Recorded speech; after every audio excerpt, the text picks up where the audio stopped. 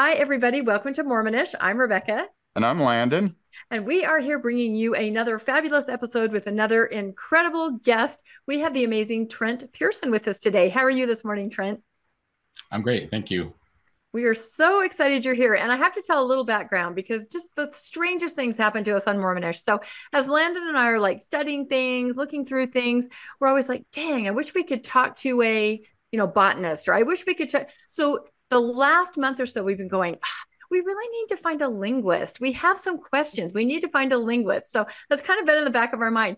So we go to this gathering, a post-Mormon gathering at this, you know, fun pub, and we're all sitting there, and new people have shown up. It's it's a regular thing, and there's always new people. And there's Trent, and we start talking to Trent because he looks like a very interesting person. And all of a sudden, we learn what is he, Landon? yeah, he's a linguist. He's a linguist. And not, not just any linguist. He uh, he makes up his own languages, in fact. That's right. This is the other icing on the cake to this whole thing. Not only is he a linguist, and we're going to have an amazing conversation today, but he has been involved in inventing the Romulan language for different Star Trek episodes. And everyone knows I'm a huge geek. So it was just a really funny night because we meet Trent. He's a Romulan uh, linguist and then another one of our friends we've had on the show before, Joel, if you remember Bishop Joel, I think he'd been on a trip or something. He walks up to the table. He goes, Rebecca, I just got this for you. And it's little people, you know, those little toys, but they're Star Trek characters. So I'm like, this is some kind of weird vortex. I'm having the greatest night in the world. So anyway, we have Trent with us today, and we're going to delve into some really interesting topics that really need a linguist to unpack for us. So let's have you read the bio really quick, Landon, and then we will just get started. And we're just so excited that you're here, Trent. Thank okay. you. Yes, Trent Pehrson. Uh, he's born in Alpine, Utah, into a devout, multi generational LDS family. He began constructing languages, uh, at age five. He studied Spanish, Latin, and Russian in high school. He graduated uh, from American Fork High School. I didn't know that you could take all the languages in high school, so that's uh, pretty impressive. Called to serve an LDS mission in Helsinki, Finland. Uh, he returned early from that. As an undergrad, he studied Mandarin and graduated with a BA in computational linguistics. He began master's work but transferred to UVU, at the time UVSU, to study computer science. His career has involved full stack programming, systems integration, data analysis, localization, language recognition programming, constructed language development, systems architecture, and system analysis in the private and public sectors. So, quite an accomplished linguist and computer scientist, which uh, pretty much go hand in hand, I'm guessing, anymore uh, with translation of languages and whatnot. So yeah, you you can't do much with language that's helpful without computers these days.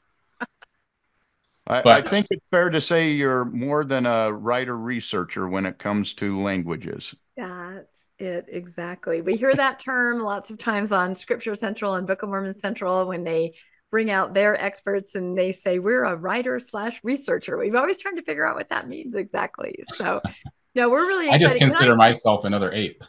And that's it. That's exactly right.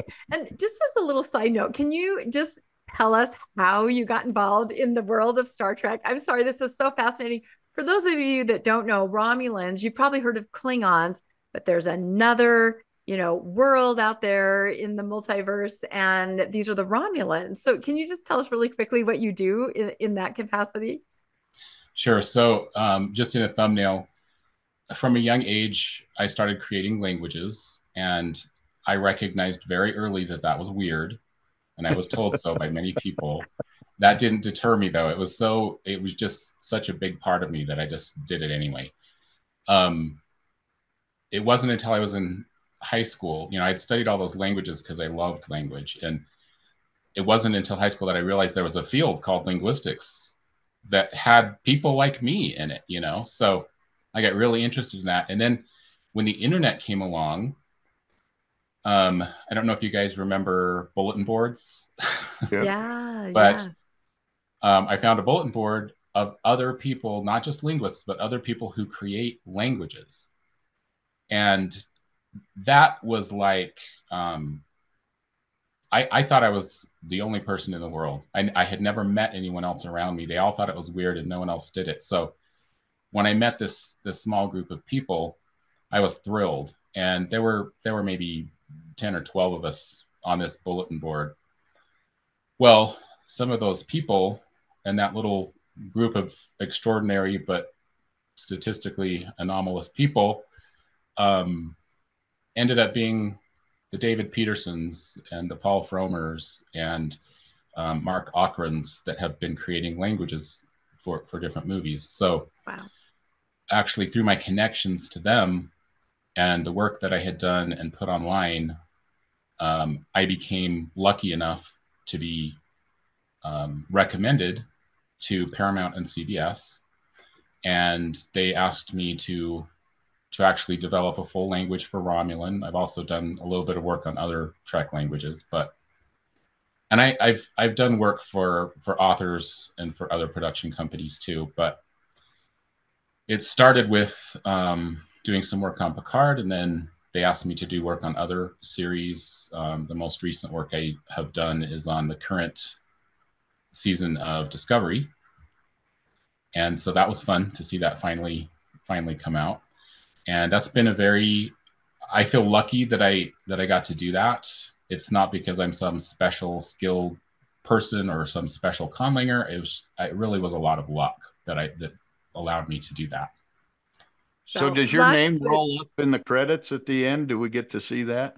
Yes, I'm I'm credited in oh, some great. of those. The coolest thing is um I can't remember which series or episode it is, but there's one where I'm credited right next to Mark Okrand. He created the Klingon language. Wow. And for me, that was a geek out because when I was 12, my best yeah. friend gave me the Klingon dictionary. Yep. And that's when I learned about Mark Okrand. And I was like, yep. oh, I want to do this, you know? Yep. So I had this kind of full circle connection moment when I saw my name in the credits next to Mark Okrand. It was pretty cool. Wow. See, I wish we would have known each other when we were little because I also had the Klingon dictionary. Um, I never mastered it. My mom mastered the Klingon language. She speaks Klingon. She's in her 80s now. I know you guys have no idea how geeky I am. I'm sorry. So cool. I'm revealing it here, but but I will say luck, but then you have the skill to back up your luck. So this is just amazing. We are just really honored to have you here. So I think, you know, if you'll indulge me for a second. Yeah Let's just make this whole episode about Klingon. We don't need to talk about the Anthon transcript. Let's forget it, Landon. We're just I, talking about. I was always hoping I'd get called on a Klingon speaking mission, but I, I went to Indiana, so uh, no, no such luck. yeah, conlanging could be a whole a whole uh, a fun episode in and of itself. It um, could. It really could. That's so. I have some were you looking for the dictionary back there, or were you? I have my original copy, but I can't I can't oh, remember where I put it. But it's somewhere uh, back there. Yeah. Yeah. And for, for those of you who have no idea what we're talking about, you know, some of these sci-fi programs are very serious. When you have a character and a race like Klingon, you have to have an entire language, you know, that you can communicate in. So they're not just speaking gibberish, you know, on the shows. There actually is a language behind what they're doing. And now we know there's a Romulan language. So this is amazing. So this oh, becomes yeah, important. The reason we're speaking of, about this is because uh, we want to address some of the uh, linguistic issues that we've seen come up uh, in apologetics, yep. Uh, specifically the Anthon characters, yep. Uh, Nahom, some of these linguistic uh, items that the apologists like to use as proof of the Book of Mormon. Mm-hmm. And so we wanted to have an actual linguist look at these and and give his feedback on it. Yep. And Trent agreed to do that. So we yep. appreciate so it. That's what we're talking about today. So I think you do have a slide. I don't know if you're starting with your slide, but why don't you go ahead and take it away now? We will stop pestering you about Star Trek. okay, before I start, I just wanted to mention two quick things. So um, the first one is I am a linguist and I do have a linguistic background, but I'm not the kind of linguist that works at a university and rubs my nose in the expert details and cutting edge of linguistic progress every day. So I want to make sure that that's clear. Um, and I'm, I'm approaching this topic from the point of view of um, how analysis of this text um, intersected with faith for me. So it's it's both a personal point of view and it's it's talking about how it intersected with my faith. I'm not I'm not claiming here to be um, an expert on the Anthon transcription. I'm just explaining how my linguistic background, which is legitimate, comes to bear for me personally as it intersects with my faith. Um, the second thing that's important to me, um, in a spirit of amity and deference to consent, because we are talking about things that challenge faith, if someone's watching this and having faith challenged, or at least the potential to have a convincing argument against faith is something that you can't tolerate or don't want to hear, then this is your chance to stop. So, because we are going to be we are going to be discussing that kind of thing. Yeah, I, am so happy that you said that. And I respect that, of course. And, and I think a lot of our guests on the show, wouldn't you agree, Landon, say that? They say, this is my journey. This is my interpretation. This is how I synthesize. Mm-hmm. And there's value in sharing that. But that is what you're saying. This is this is me. And that's great. Absolutely. Yeah. So I um I think we can start with the slide, if you wouldn't mind.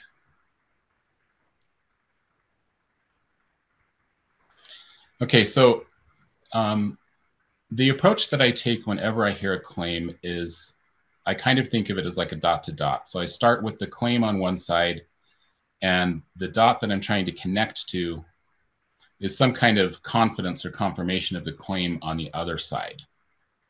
And we can connect any two dots really if we want to with faith, just with faith. We can say, I believe that that this is true, and and therefore I'm going to consider it as a truth, right? Or as a reality. For now, and I want to come back to this at the end, we're not going to allow that. Okay, so for, for me personally, I had to take a moment to to set faith aside and see if I could fill that gap between the claim and the confirmed claim without using faith. And at the end of all this, I'll explain why that was important to me and, and how that had meaning for me. So we have this claim. Um, the Anthon transcript contains glyphs transcribed directly from the gold plates in the writing of the Egyptians and the learning of the Jews. This establishes the historicity of the Book of Mormon and the reality of the gold plates. Okay, so people have made this claim and other claims about the gold plates, but this is the one that we're going to be um, engaging with. And so we have to start with basic questions, and each of the dots along this line represent one of the questions below it. And the green ones are, are questions where we can continue to confirm, and the red ones are questions where we can't confirm. And remember, we're not allowed to use faith in any of this confirmation. So we start with the first question Does the Book of Mormon actually contain the claim that it was written on gold plates in an Egyptian writing system and language spoken by ancient Jewish people. And this one we can confirm. Yes, Jacob 4.1 mentions the plates. Moroni 932 mentions the Reformed Egyptian. And First Nephi 1 through 2 states that the record is written using the learning of the Jews and the language of the Egyptians. So we got our we got our line a little bit moving towards confirmation. So our second claim does the Anthon transcription exist? And is it alleged to be a transcription of glyphs from the gold plates? So we can confirm this one too. Yes, the document is extant. It's well attested. It's owned by the LDS Church, and it's part of a collection used to compile the Joseph Smith papers. Um, where an image is available for inspection. It's a really nice high resolution image, and that's the that's the address below there. That's kind of small. Sorry about that. So our second our second question is fine. So now's where we start to have some problems. So do the transcribed characters accurately reflect the characters inscribed on the gold plates? And we don't know the gold plates are not available for inspection. So this might seem trivial, but it's really not. Does that make sense? Yeah, yeah that does make sense. And I can clearly see how that line could just continue. If you believed and had a belief in faith, you would simply just continue that line to the next dot. But you're right, you're halting it right there with your criteria. Yeah. So if we don't use faith, this really is the end of the line We mm-hmm. don't even have to go to four, five, and six or any other questions because we simply can't know that there is a text from which these were transcribed, right? So with the Abraham um, facsimiles, we do have an ancient sample from which those mm-hmm. facsimiles were taken that we can compare them to in some of the cases. Um, we don't have that for the gold plates. So right here, this, this is where we could just end the line, but we're gonna we're gonna ask a few more questions to try to to try to be thorough. Um, we also don't know, for example, when so if these were people that were very familiar with Egyptian, with any particular form of Egyptian, they might not have difficulty um, looking at, at glyphs on gold plates and transcribing them correctly. But if they were unfamiliar with Egyptian, which is likely, even if they were looking at some actual Egypt, Egyptian script on an actual text that's written on gold plates, they might have some difficulty transcribing those correctly. If they're not an artist, they might be um, making some generalizations or missing important parts of glyphs or any number of things. So we don't have we don't have a way of knowing, and that's that's a very important point. So had he done a rubbing, uh, you know, it's engraved and he rubbed it and it was an impression, that still wouldn't tell us that they came from gold plates, but we could be more confident in at least the accuracy of them because it would be a direct copy as opposed to somebody handwriting them or trying to copy them that's not familiar with them. Exactly, and that's an excellent comparison. And you can also see that whoever wrote them, it's alleged to be Joseph Smith, but whoever wrote them was someone familiar with using um, a steel tip copper plate nib and ink, and we're familiar with um, cursive scripts that you write with such a pen. And so they have they have almost a cursive look to them. That's the the strokes and the shapes and so forth are very reminiscent of cursive forms of Joseph Smith's time. So that's not proof that they didn't come from gold plates, but it's also not proof that they did there's many uh, possibilities for how that transcription could be wrong just based on the way it was copied. And I will say, you've probably seen this before. There's a document floating out there where they've taken the Anthon characters, they've kind of turned them sideways up and down, and, and you can read them as if it were English. You can, they really almost seem, like you said, the same strokes, the same curves, just maybe tipped on their side or upside down. So I'll see if I can find that and put that in the show notes because it's a really interesting document where someone has taken those characters written by supposedly Joseph Smith, tip them on their side, and it really is English. You can read it. At least your, yeah, your mind I have, goes. I there. actually have a slide I'll show you in just a minute that, oh, good. That sort of demonstrates that. Oh, good. Bit. Okay, yeah, it's really fascinating. Boy, this is a great way so, to determine something. Yeah, so let's go. Let's go to our fourth, our fourth question. Is it reasonable to assume that the characters are consistent with known Egyptian writing systems? No, the characters are not consistent with Egyptian hieroglyphics, hieratic, or demotic. And those are the systems that we know of. So um, I want to show some of the other images here to kind of make this point and to kind of demonstrate um, what you were just talking about, Rebecca. So um, if you could show the, um, the image called Anthon versus hieratic. Okay, Anthon versus hieratic. yeah, um, usually we have a share screen kind of thing we do here on Mormonish, but for some reason there's a ghost in the machine today. So Landon is going to be pulling up all of Trent's documents, and I think it'll work just fine. Oh, here we go. Look at this. So here we have um, a top bottom comparison, and the source of the um, hieratic is below. And when you compare these glyphs, there's a few interesting things to pay attention to. So one is that um, it's hard to tell in the Anthon sample which direction the writing is going. If you if you look at the uh, margins on the left and the right, they're not very even on either side. So it sort of looks like these characters are flowing from left to right, just like in English. And if that's the case, that's already unusual because um, most um, most languages in in the, in the category of um, ancient Egyptian and Hebrew and Aramaic, they actually go from right to left. So you'd expect to see um, the right hand margin lining up and the left hand margin being uneven.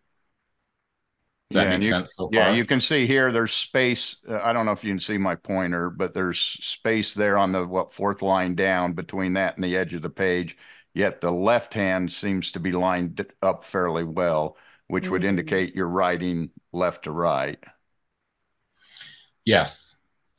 Um, you can also see that when we're looking at the the Egyptian text, um, you can see some things that look um, structurally similar in terms of shapes, but there's a lot of things that are not similar at all. So, for example, um, in the Anthon transcript, you can see several places where you have kind of these um, tick marks some of them have a line underneath them. Some of them have sort of a boat shape. Um, two of the boat shapes also have little dots underneath the score marks, almost like exclamation points. But one of the boats doesn't. And when you look at the um, Egyptian sample below, you can kind of see some places where there's like little dots that are sequenced. They're not really lines, but they're dots. So that's kind of the same. You can see some shapes that are the same. So in the second line of Egyptian text towards its end at the left side, there's there's a character that looks sort of like a three. Yep. And up in the Anthon transcript, you can see some shapes that look kind of like a three. Um, but there's a whole a whole bunch of shapes that make no sense, and this is especially true when you actually look at just a set. When you look at just the set of glyphs that hieratic contains, and you try to just match them to the glyphs in the um, Anthon transcription, you can you can pretty clearly see they're they're not matching up. The other problem that we have here is the text at the bottom is actually a line, you know, it's a few lines of writing. Do we know for sure that whoever copied the characters onto the um, Anton transcription that this was a bunch of continuous text, or was it just a line from here and there and another line from elsewhere, or just here's a glyph and there's a glyph, and I'm just going to sequence them into this um, paper so that it looks like a sample? We really don't know what's written here. We don't know if it's supposed to be an inventory of glyphs. We don't know if it's a continuous text. We don't know the direction that it flows. And again, that's because we don't have an original text to compare it to. Hmm. So we can compare this to the other two forms of known Egyptian writing. So Can if we you want to read show, the quote? Can we read what the the actual Egyptian writing says? I love that. Landon, you want to read it? You can see it better than I Yeah. can. It says a hieratic e- excerpt from the instructions instructions of Ammon Amun Emhot, dated to the 18th dynasty reign of Amenhotep I, uh, which is 1514 to 1493 BC. Mhm. It reads, "Be on your guard against all who are subordinate to you. Trust no brother, know no friend, make no intimates." Very wise advice, isn't it? so I guess I never really thought Sounds about like a the fortune characters. cookie. Yeah, it does sound like a fortune cookie. Egyptian thought- fortune cookies. I never thought about that in terms of the characters document. Like you're right. Uh, What did they just pick things out here and there to give an example to take to an Egyptologist? Did they actually quote, you know, character for character from a certain segment? We don't really know, do we? Exactly what We this don't. is. We have no idea. I've never thought of that before. yeah, we really don't know what it what it is. We know they did this to take it to someone to try to to try to get them to to confirm it, but we don't know what they took from the Right. plates Huh. allegedly, right? Never thought about that. So let's let's go through a couple more really quick comparisons. Um, so if you could show the um, Anthon versus hieroglyphs.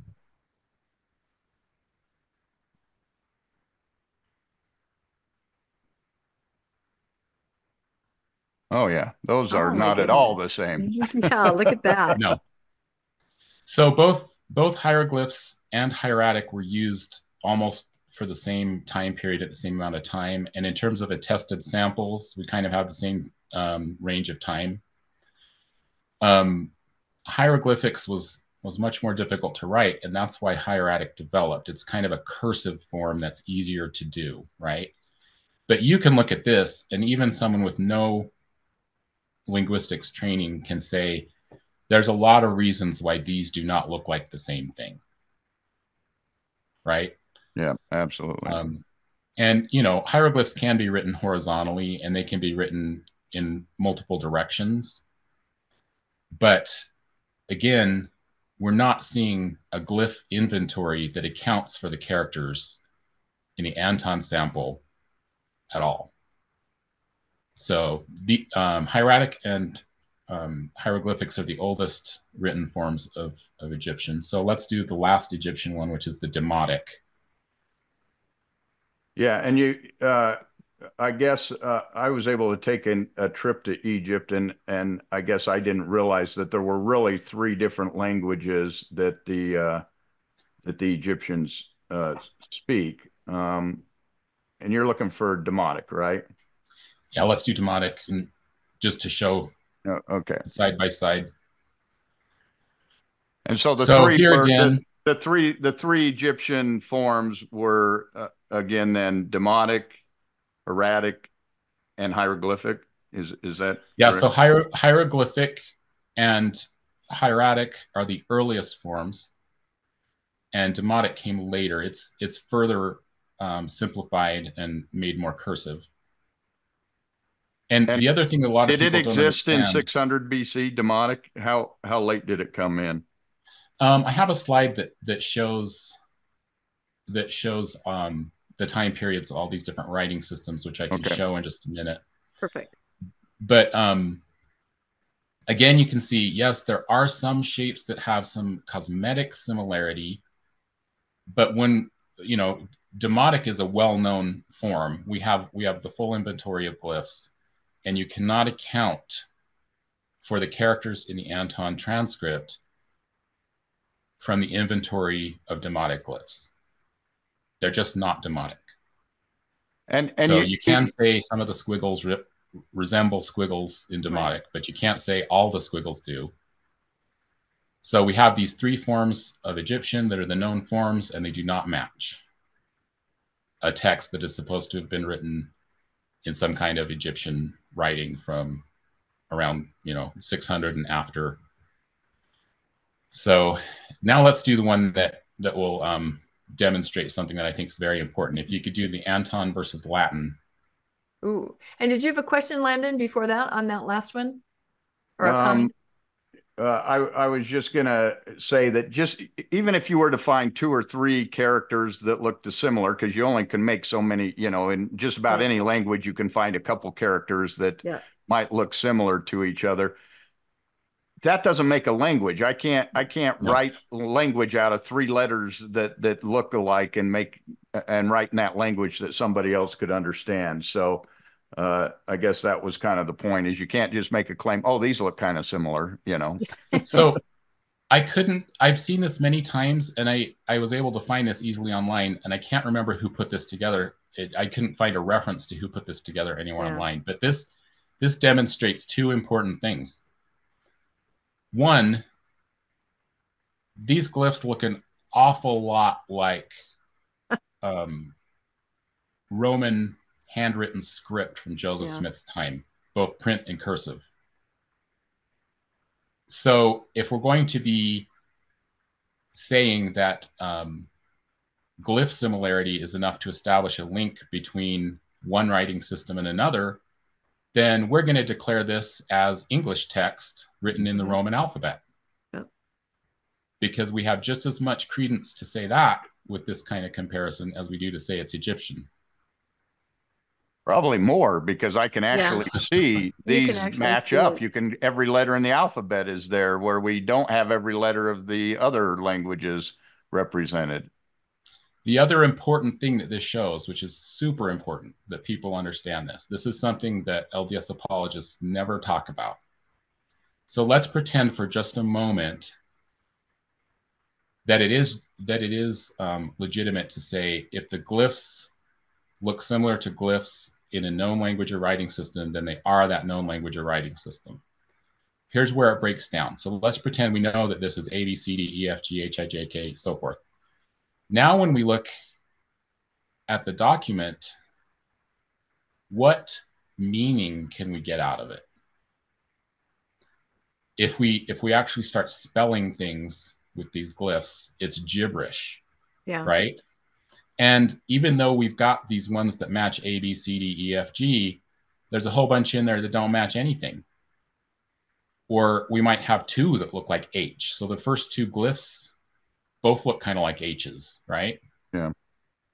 So which one of those is actually H? It's just not a legitimate way to determine a writing system. A so writing system that, has to have a system behind it that gets explained yeah. by the correspondences.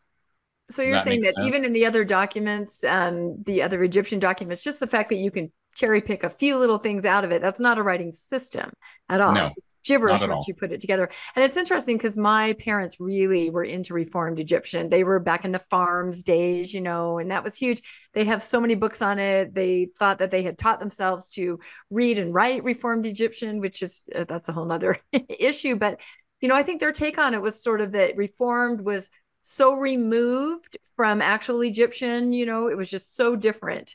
Um, that's why it didn't, there wasn't really any way to compare. But that, that, I mean, if you were reading something called Reformed English, you would definitely see the marks of English in it. You, something reformed means it harkens back to, I mean, on a very simplistic level, I think. So, this idea that maybe you could apologize it away by saying, oh, reformed Egyptian, you wouldn't expect it to look like any of those other Egyptian writings. Well, yes, you would. it would be a shorthand or a cursive or something. You would find the remnants of it in Reformed. That that's true, and you would also expect to find um, sample. So Lehi came from the area where Jerusalem is, and he left around 600 BCE. Well, you'd expect if if this is a major form of Egyptian, you'd expect to see it attested there, yeah. right? At that time and in that place. Yeah. We don't. We don't see anything like it attested there. Yeah. So there even is there is there's a document I know of, um, and I had some fun um, emailing with a professor that translated it, but it's actually um, the Aramaic language, but the document is written in Demotic script. So that's a pretty weird and rare thing to happen because people don't understand that that a writing system and a language are two distinct things. For example, um, I can use the Cyrillic alphabet that's used in many of, like in Russian and many other languages, um, to write English. Right? I can I can mangle that alphabet and write English in that alphabet. That doesn't mean I'm writing Russian. So someone would, would look mm. at that and they might assume it's Russian, right? but it's English because I'm just using the Cyrillic alphabet to write English. So even though we have an attested document written in Aramaic, which, which was the language of the place where Lehi allegedly came from, but it's written in the Demotic writing system, that can that can show that yes, that kind of looks like the language of the Jews written in the writing of the Egyptians, but that's Demotic that's not this this stuff mm-hmm. right?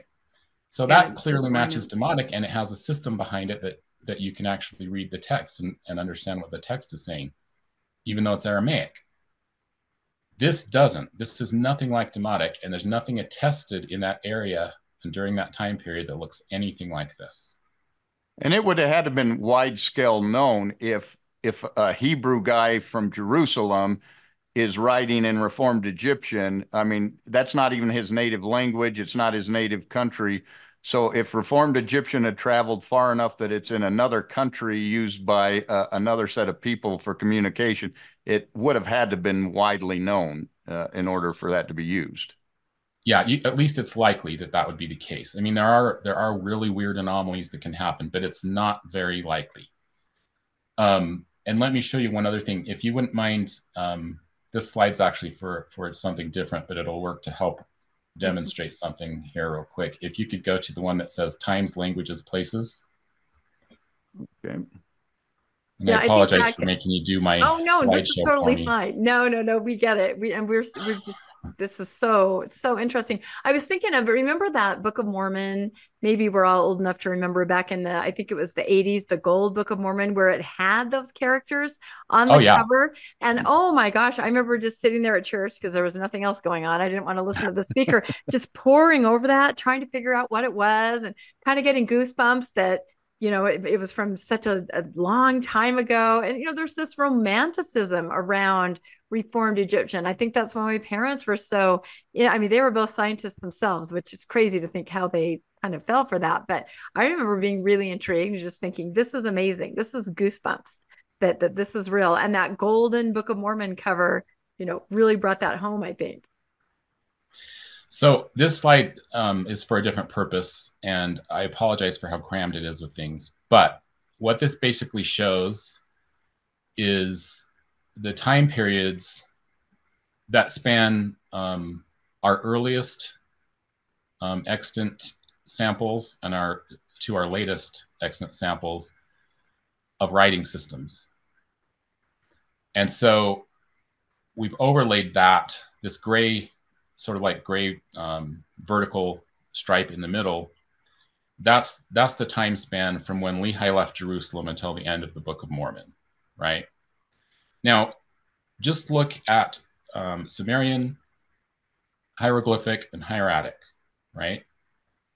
They span thousands of years. And even as the languages changed, the forms of writing did not change dramatically, right? Now look at that tiny time span from when Lehi left Jerusalem until the end of the Book of Mormon. And in all likelihood, we're talking about an even shorter time span, span than that that the golden plates would have been uh, made during.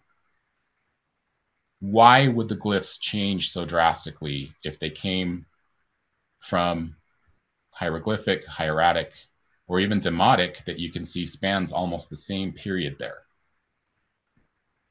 Um, that kind of change has to be done intentionally and it's not very normal. It takes weird people like me and my conlanging friends to do that.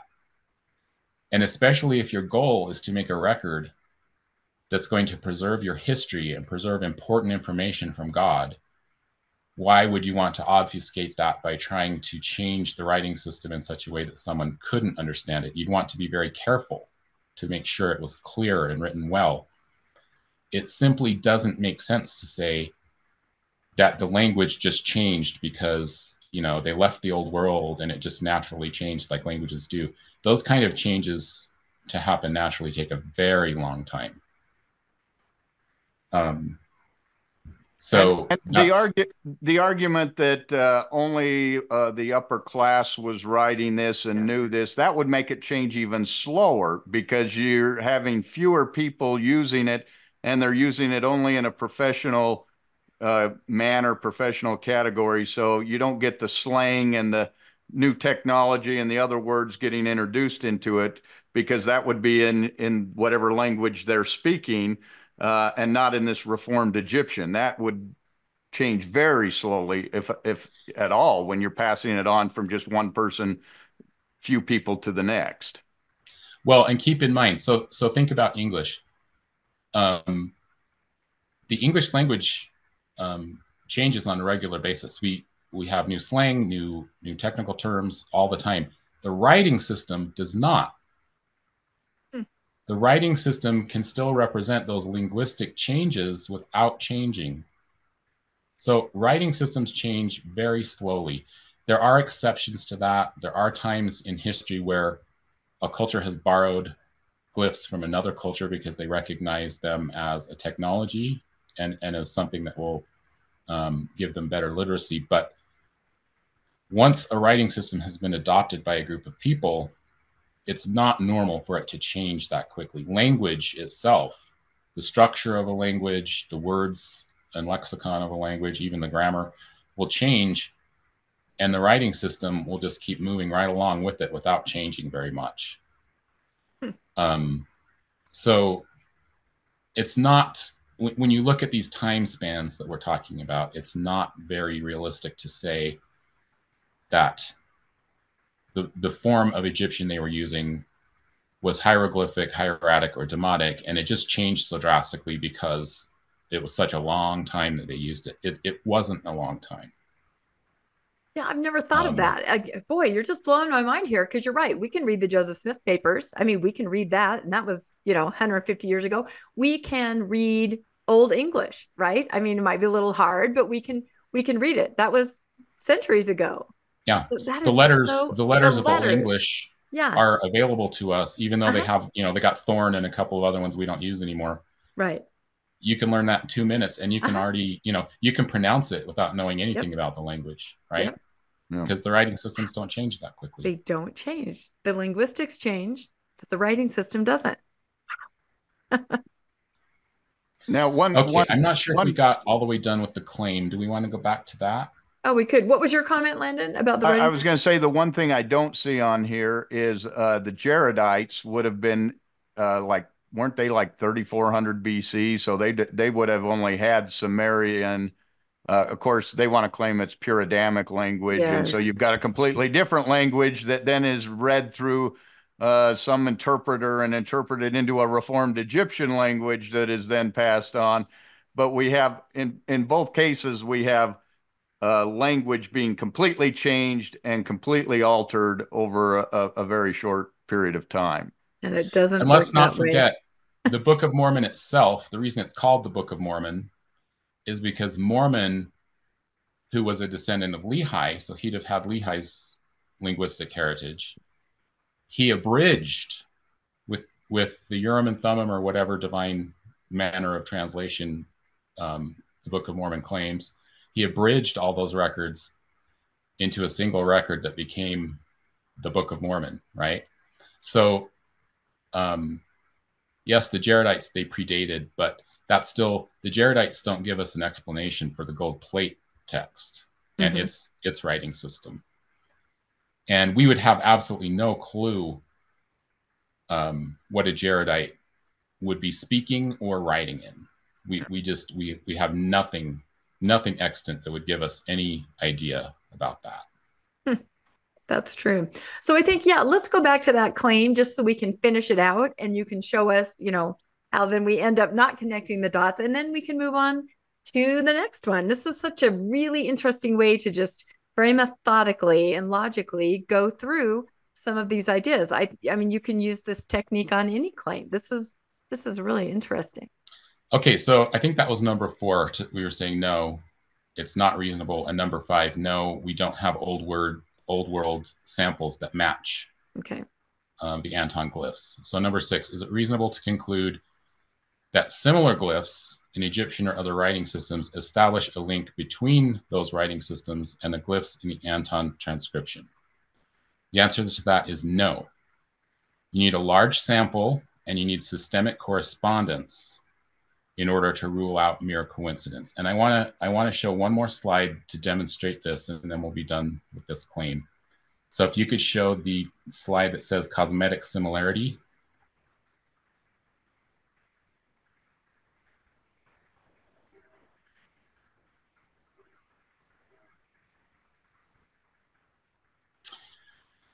So this is actually just a very rudimentary, very cursory look at some some glyphs on the left and how many different writing systems use that glyph hmm. for different things.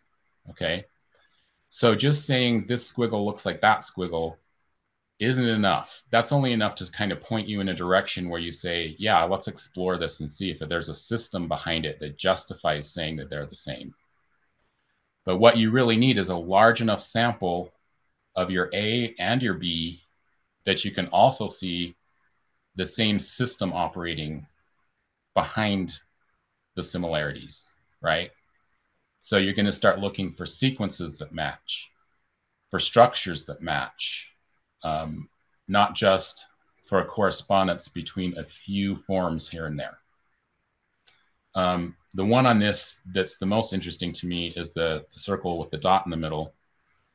Um, I could have added probably three times as many correspondences for that one as I have here. That's a super common one. And there's also something, um, there, there's a kind of um, equilibrium or homeostasis in linguistics that comes from the, the structure and limitations of our human brains. So we want our writing systems, for example, to have enough to, for the shapes and so forth to have enough complexity that we can distinguish them from one another. But they need to have enough simplicity that it's not impossible to remember. So with an alphabet, which most of these are um, present in alphabets, but not all, some of them are in um, logographic systems too the, the squiggles are not going to be very complex because I only need, you know, between 24 and 60 on the outside edge symbols to represent all the sounds in my language, all the all the phonemes in my language. And so I don't need to make them really complicated in order to tell them apart. You know, I can I can have one that's a line horizontal, one that's a vertical line. I could have a diagonal line, and those could all be distinct, and it's just a simple line, right? Yeah. I, I could have a, a circle. Circle is a very common shape. I can have a horseshoe shape in different orientations. So that means that a lot of alphabets are going to share similar looking squiggles because you don't need really complicated squiggles to represent between 20 and 60 different things, right? Now, when we think of logographic systems where you have one symbol to one word, that gets a lot more complicated, mm-hmm. right? I need yeah. a lot more strokes and lines and a lot more variation. And I might even need something that's kind of mnemonic in my glyph in order to distinguish, but also to easily remember them. So those are going to be a lot more complicated. Um, because you're going to have hundreds of characters that you're going to have to because each one represents a word. Yeah, it's more like thousands. Thousands. thousands yeah. Okay. Yeah. Well, so, and then we're like, told in the Book of Mormon that you know one tiny little you know drawing a horseshoe represents paragraphs of paragraphs. Yes, that's a really good point. So let's let's just explore that for one second. So if the horseshoe, so I mean, it's even more ridiculous than that because there's there's ones where there's a line, and there's one where there's a line with a dot, right? Yeah. And then there's there's a bigger line, you know. The difference between a horizontal line and a bigger horizontal line are it's so subtle you could easily get that wrong. And then mm-hmm. how how do I easily encode and remember that the small horizontal line represents this whole paragraph of meaning, but the larger horizontal line represents this other whole paragraph of meaning. That simply is not the way um, the homeostatic boundaries and the equilibrium in our human brain work. We don't. That that would be that would be a much bigger brained creature that would that would be able to handle something like that, where one millimeter of difference in a single stroke means it's a whole different token with a whole different explanation behind it. We don't discriminate at that level as human beings. So yeah, the Egyptian grammar is there's a lot of interesting things about that that we could talk about. But um, this slide just basically shows how those those cosmetic similarities are not enough. You also have to have things lining up with time frames and locations and with the types of writing systems. So if I'm going to compare one sample to another and I'm trying to establish that they're the same, I can't have one that's an alphabet and the other one that's a syllabary. Mm-hmm. You guys know what a syllabary is? That's mm-hmm. where each glyph represents a whole syllable. Okay. Right?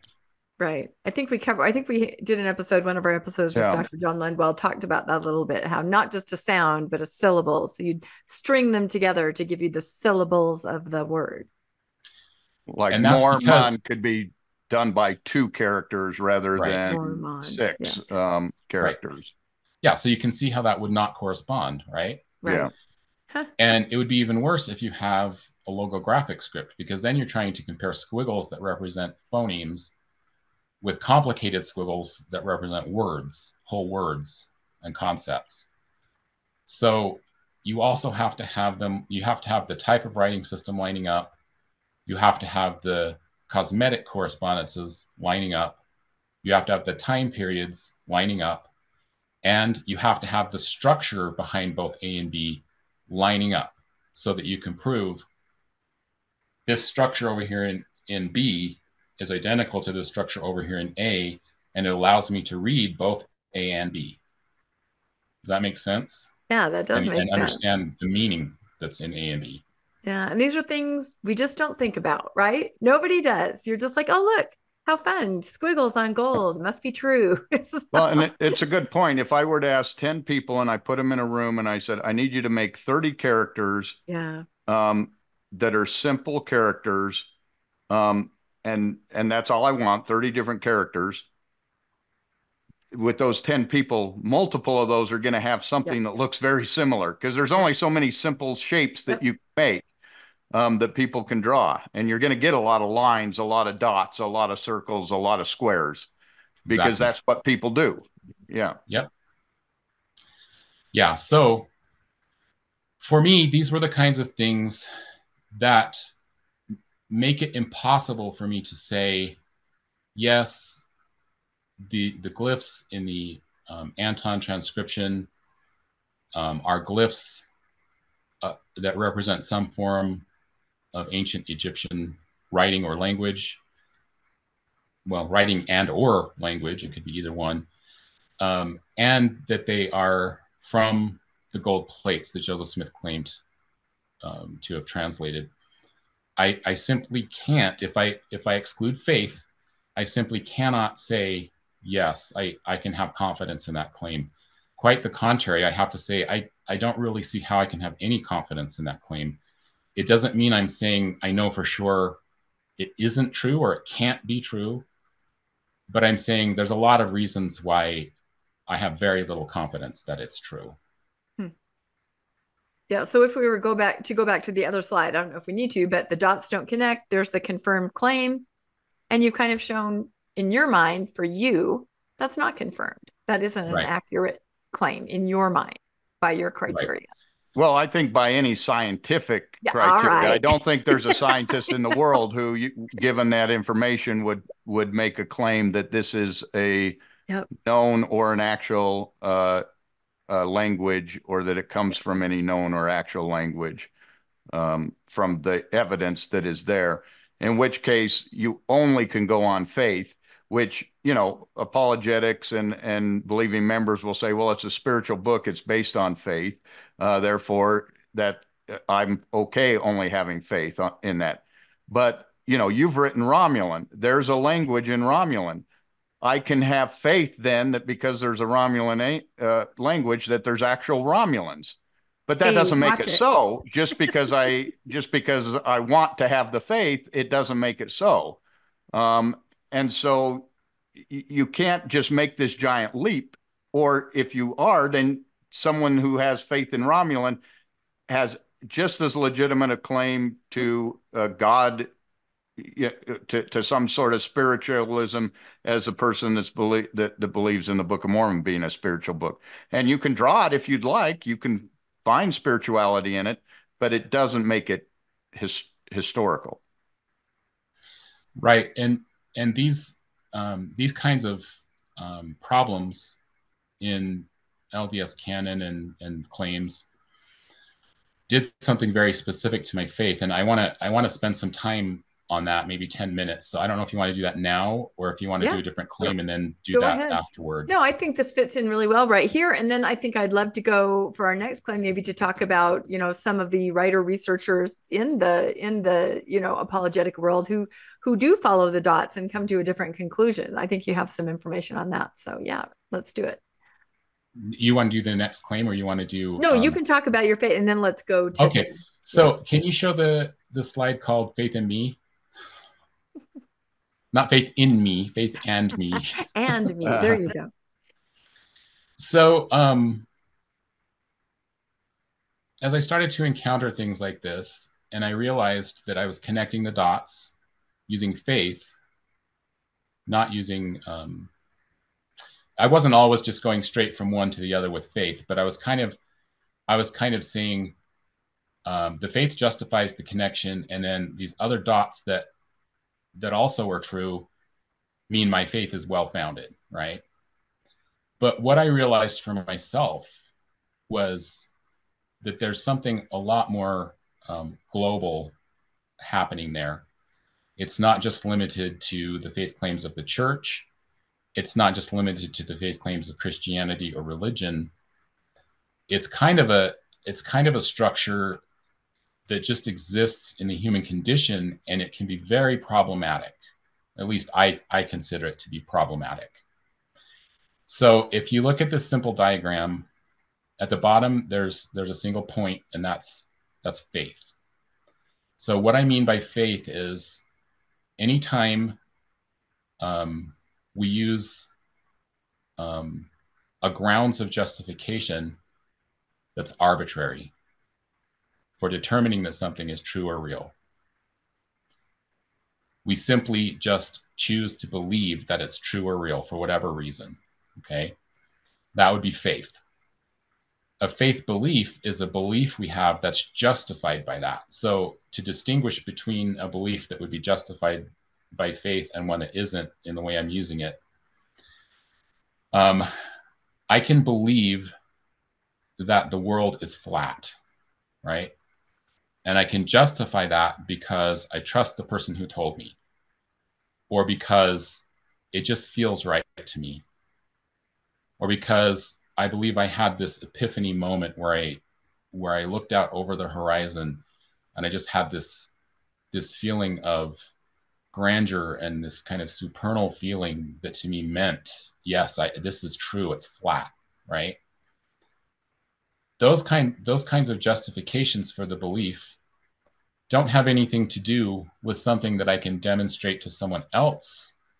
And regardless of what they believe it would show them that they can have confidence in that in that um, claim that it's flat they would have to be like me. They they would they would have to just accept it because I told them or they would have to try to have their own experience of grandeur and awe that that they interpret as truth you know but I, I can't really just demonstrate something to them regardless of what they believe that gives them confidence in the claim.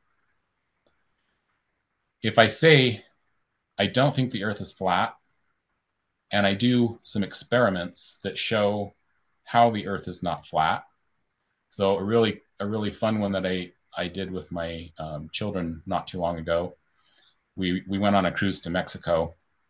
We're out on the ocean. So you can see you know you can see the curvature of the earth out there.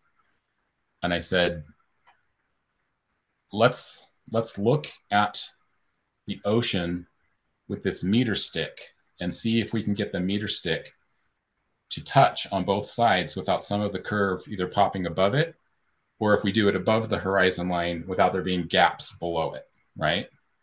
Super simple experiment. You can't do that. You can't you can't get a straight line so that at least tells us that something's causing the ocean to, to be in a rounded shape, right? But there's there's more experiments you can do that are even simpler, where it doesn't matter what anyone believes, you can demonstrate that to them. And they can't deny that there are gaps on the side or that you have a bubble over the top of the of the meter stick. They can't deny that. They might be able to to say, well, I'm going to use some other faith based justification to still make that work. for, for me in my system, but they can't deny what they're seeing, right? It doesn't matter what they believe, they can't deny what they're seeing. So that's the distinction between a faith belief and a belief that's justified with something objective or empirical. When we have a faith belief, we're going to um, also have an accompanying faith system or faith behavior that we execute based on that belief. And this is where I realized that faith was failing for me. So um, it's true that if I believe on faith, so like if we look at these um, paragraphs on the right side, um, I have faith that the Holy Ghost exists and is what the LDS canon defines it to be. So that's that's the that's the faith right there. Because of my faith, I felt the things that the canon stipulates as the Holy Ghost confirming the truth of my belief. So I've taken the faith and I formed a faith belief by assigning truth or reality to something just because of a feeling that I'm told is the Holy Ghost. So I believe that a feeling I have means something is true or real. Under the canon, the authority of prophets and the revelation given to them is equivalent to the authority and will of a perfect, omniscient, omnipotent, omnibenevolent God. Um, it's always true. It trumps personal revelation and it must be obeyed. So that's the structure it took specifically for me. Why, why did I see that as a problem? Well, this structure of belief is fine if by luck the prophet and the canon and the omnibenevolent God are telling me feed the hungry, clothe the naked, visit the imprisoned, all those things, right? Because that won't do any harm to anybody. But what happens when they start telling me stone a person to death if they pick up a stick on Sunday? Abandon your family if they don't believe the same things. Um, in other religions, it could be something like um, we're we're the ones that have a right to inherit the earth everyone else doesn't and god wants us to fight right and that could be interpreted in any number of ways this kind of faith doesn't just exist in religion either. So you can see this in politics. You can see it in corporate culture. You can see it in the various cultures of the world where we have these beliefs that are based on faith not religious faith but the same structure a kind of trust that isn't backed up by anything that we can demonstrate, regardless of what we believe. That means that that black box can also very easily explain why we have Chad and Tammy Daybell and, and everything that went along with them, why we have the Laffertys, why we have Jonestown, why we have Adolf Hitler and people who willingly followed him. Yeah, I was gonna. This I was mechanism. Gonna, yeah, it's this I, mechanism that allows yeah. that. Yeah. I, I was going to say Japan. Uh, they they followed the emperor as a god, and mm-hmm. uh, they were willing to die for him. And we saw that in World War II. You know, it was a faith in a system and an emperor, uh, and they followed it to their detriment. So. Yeah. So so faith faith kind of becomes um, the last venerated um, confirmation bias that the human family still cherishes and treats like high virtue. And um, it took me a long time to personally, and, and I'm, I'm just talking about me personally, but it took me a long time to to understand how dangerous that actually is and that it's not a virtue. It's not venerable for me, it actually amounted to a form of slavery, a kind of psychological slavery, um, and a subjugating of my own identity and will. And you can see very easily how that can happen in this kind of a structure.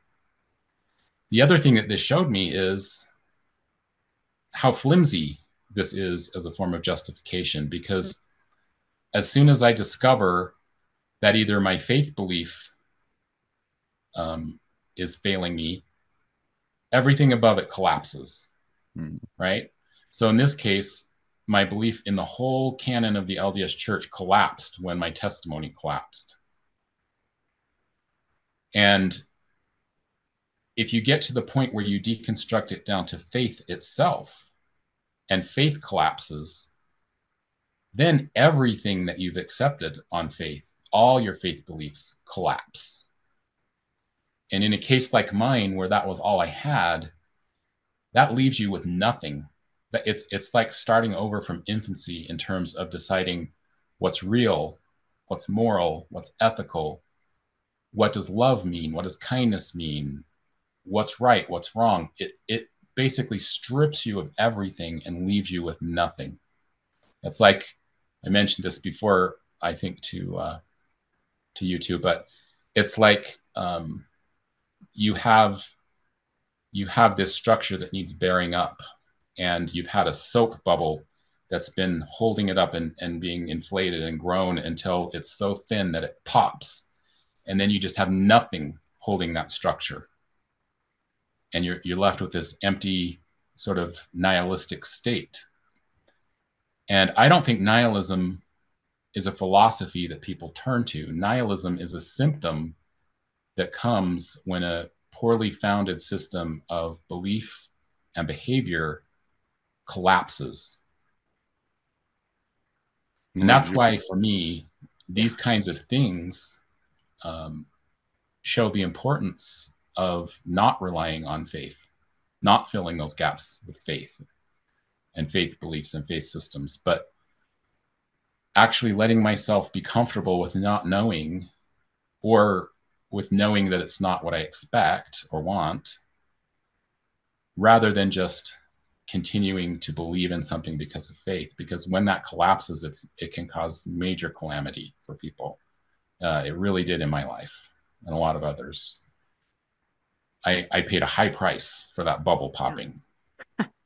Now, this is an excellent diagram. I don't you think, Landon? This really illustrates, I think, what we see over and over in so many different ways. And I, I have to make the comparison since we're talking about evidence of things to Book of Mormon Central and their new series, A Marvelous Work, the the strength of the evidence, because they do try to, to show some evidences.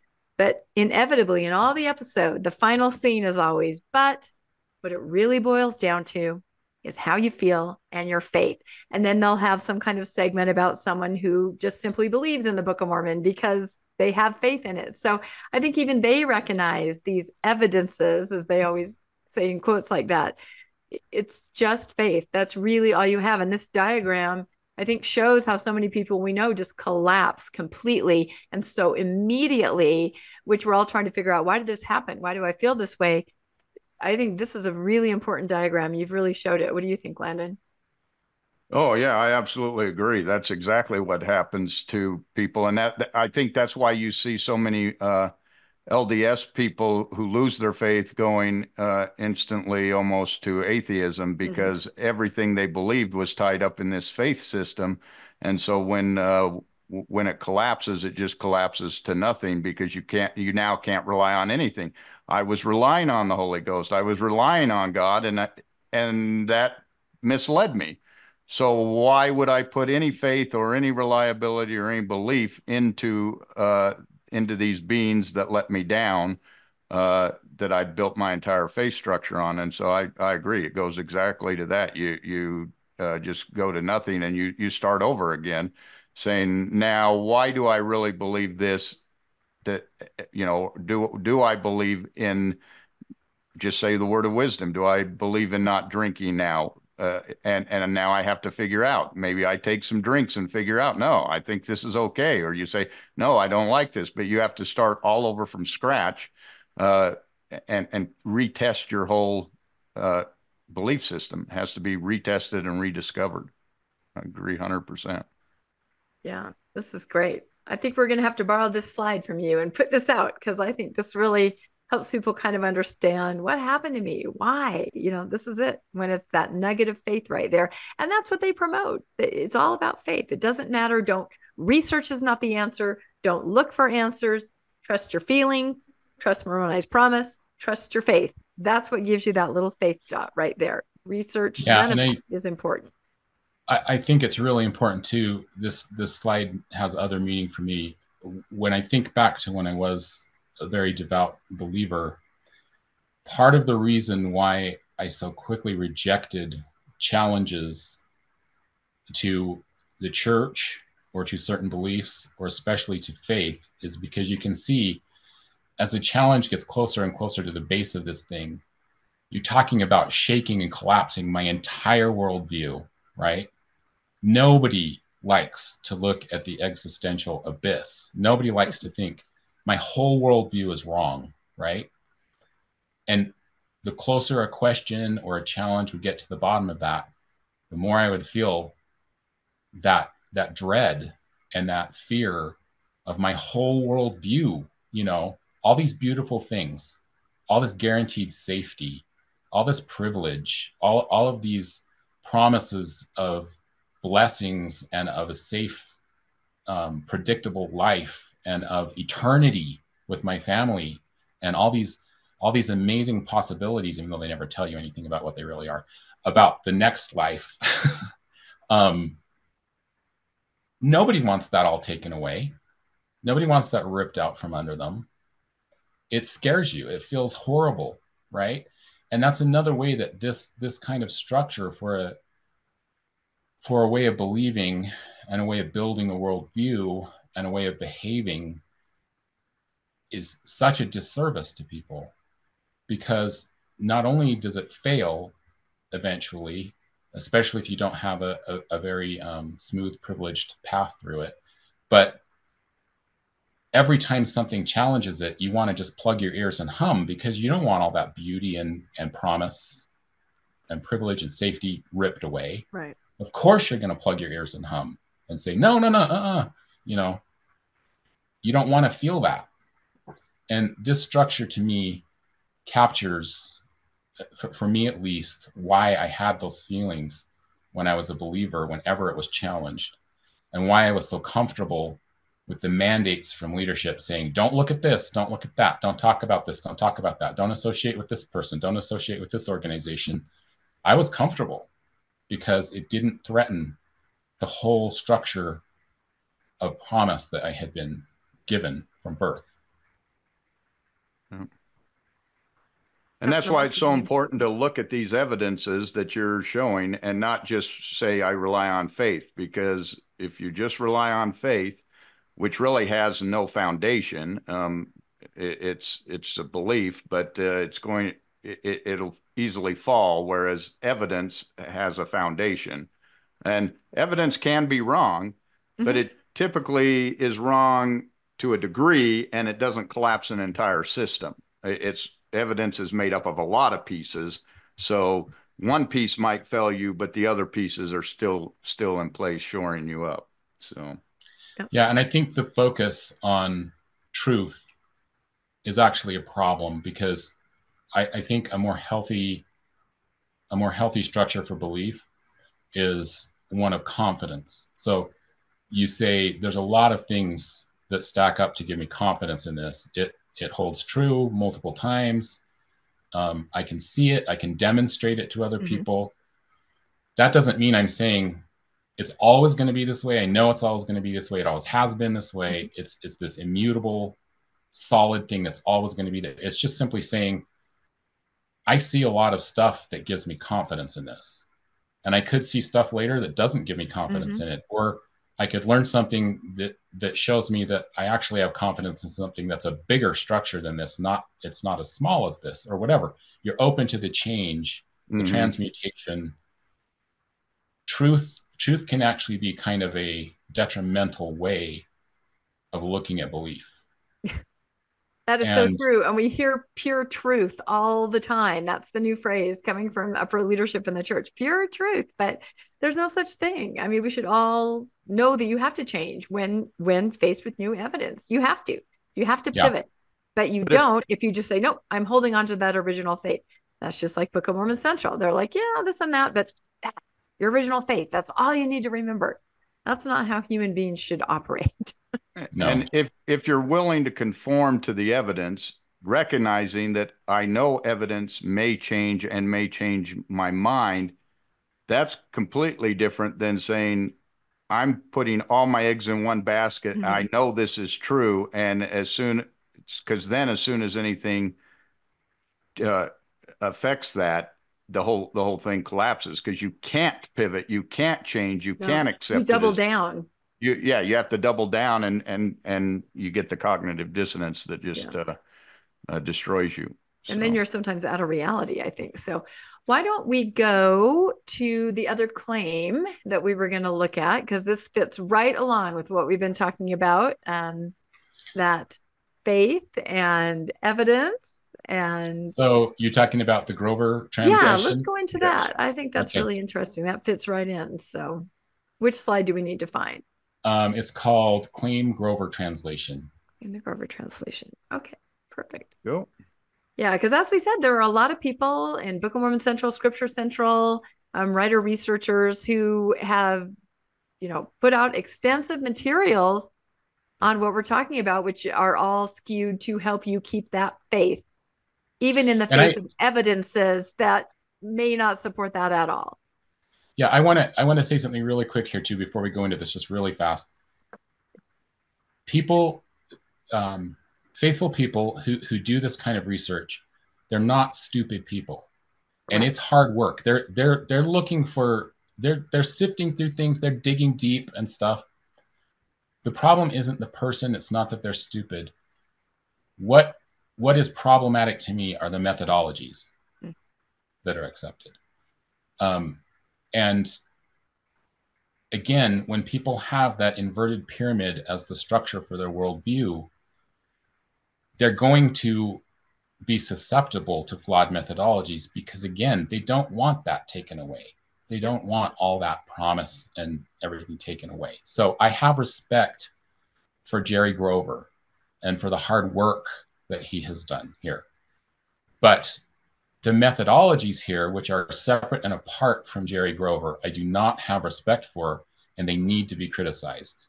So I just wanted to make sure that distinction was clear before I start.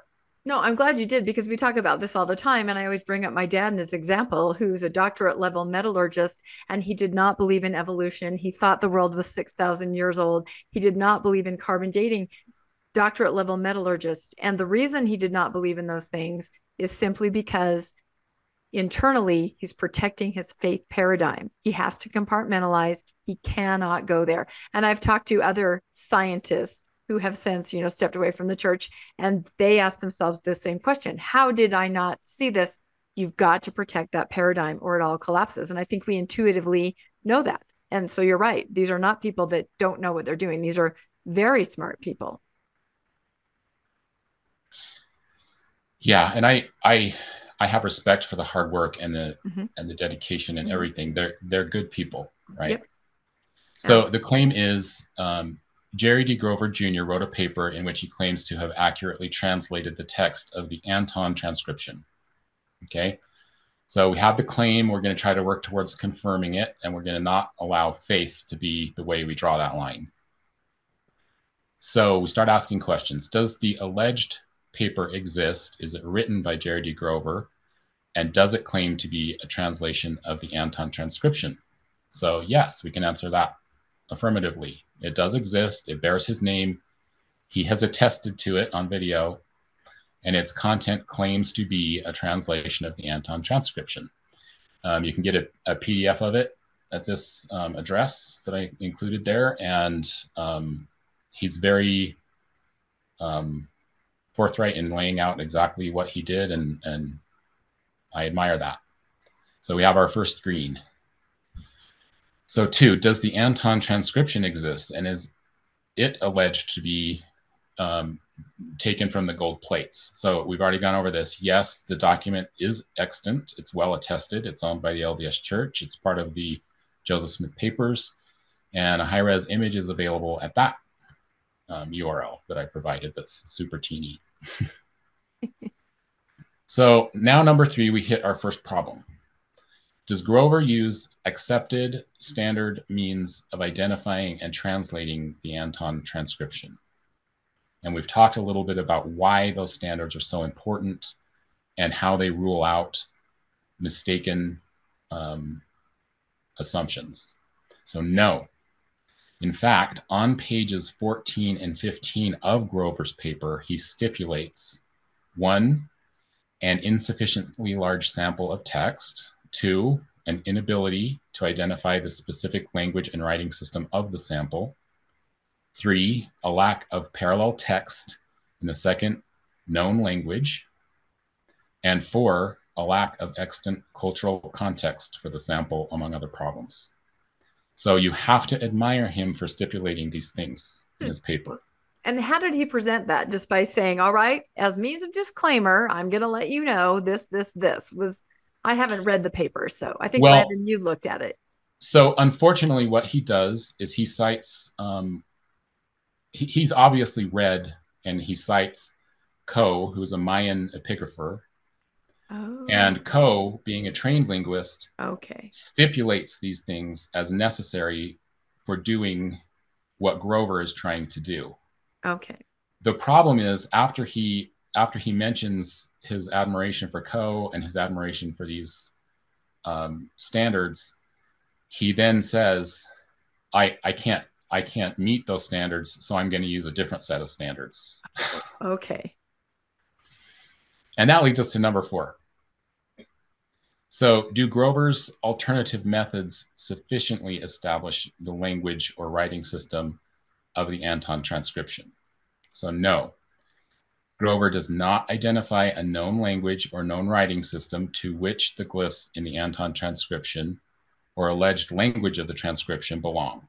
Rather, Grover arbitrarily associates, associates, associates glyphs in the Anthon sample with various glyphs in multiple samples from multiple languages, rendering only a meaning in English, but no grammatical or phonological information or systemics. And I'll demonstrate that in a minute with some other slides. Um, so you're saying that he's so, pulling from many different sources to put them together, synthesized through the English language, basically, to create some kind of meaning yeah so so um we could accept number three if number four could be answered yes right? So we could accept that he's not using some standard things that are common to linguistics if he had come up with something himself that demonstrates it with the same degree of surety right? But he doesn't do that. So um, I can't just point to cosmetic similarities in multiple mm-hmm. different languages and say, because this squiggle looks like this squiggle, and because squiggle B means this, that means that squiggle A means that. Ah. Uh, right? And that is the approach he takes. Okay. And that so makes a lot of go, sense given what you just told us in the first hour. Yeah, I understand that now. Yeah. Okay. So if you go back to that big complicated slide called Times, Languages, and Places,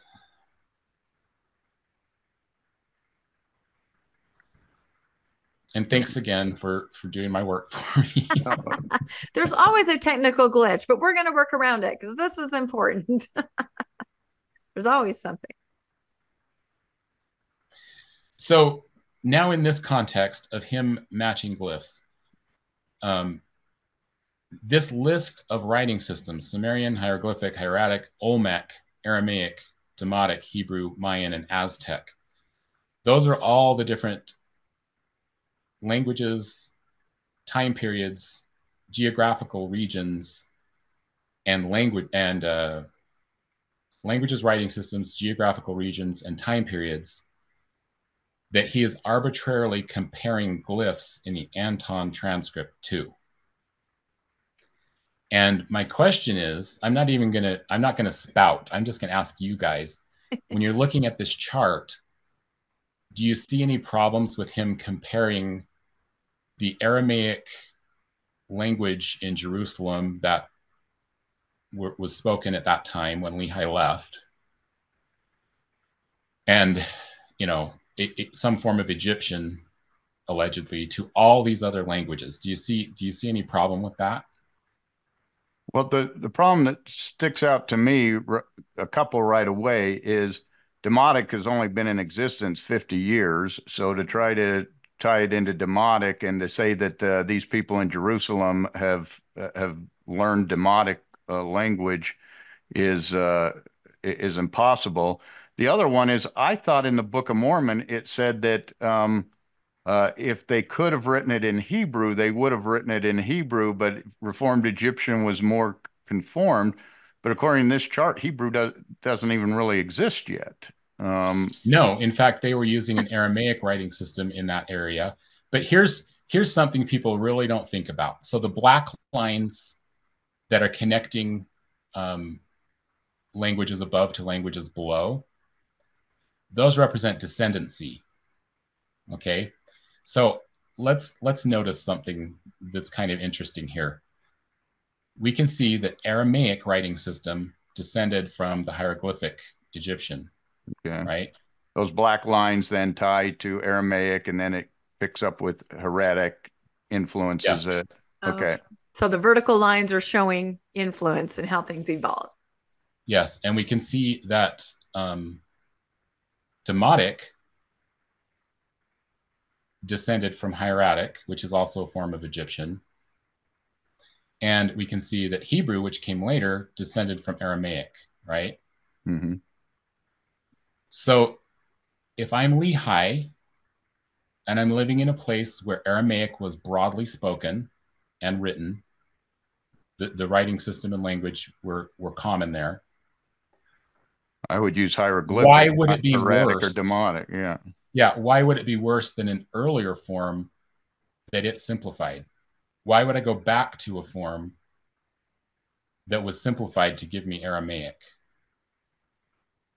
Does that make any sense? Yeah, no, that does make sense. Yeah. Logically, a person would not do that. So Aramaic, Aramaic is already is more efficient. Is. Yeah. yeah. it's already more efficient than hieroglyphic. Uh, so why would you go back to that? Yeah. So that's one thing. Anything else stand out to you when you're looking at this? Oh, I just I just find it really hard to see they're so disparate to try to connect them together to just pull the pieces out and put them into one. It just seems like a, a huge hodgepodge. I mean how would anyone even do that or even know to do that? How would they even have access to these other languages? Over these time periods is kind of what i'm seeing.